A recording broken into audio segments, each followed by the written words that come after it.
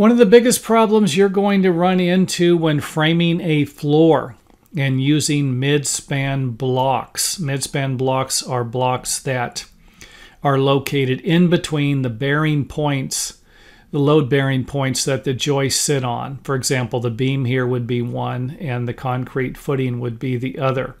And the maximum spacing for a midspan block is 10 feet. So any joist that would be longer than 10 feet would require midspan blocks, even though I don't think I would put them in myself unless the joists were about um, 14 foot maybe. That would be pushing it. Um, 16 foot for sure. But I will leave that up to you. The reason why I wouldn't put them in is midspan blocks squeak. So that is the biggest problem with a midspan block but the biggest problem that you're going to run into when you use midspan blocks. And I just, the reason why I'm making this video is I watch videos about construction.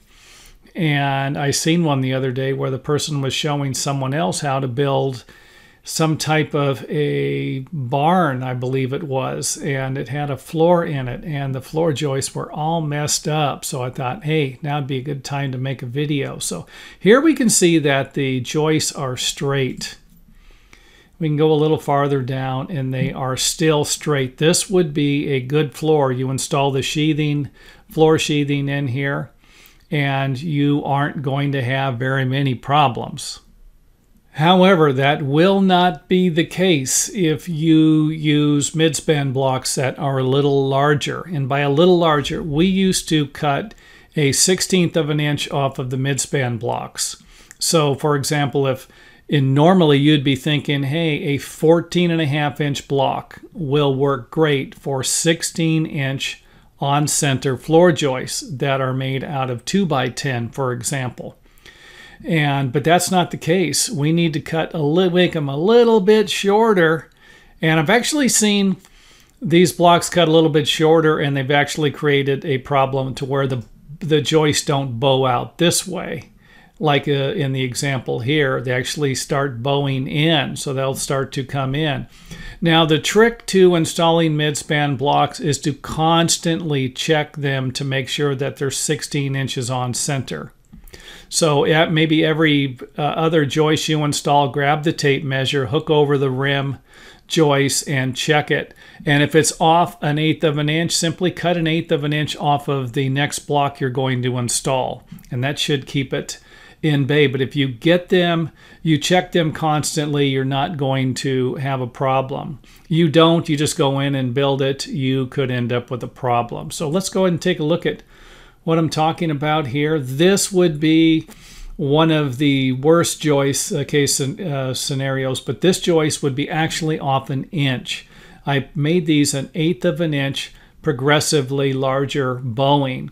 So here's an inch, this one here is 7 eighths, this one here is 3 quarters, and so on. But most of the time it's going to be a 16th of an inch, an eighth of an inch, and uh, gain progressively. So this one here has a little less bow in it.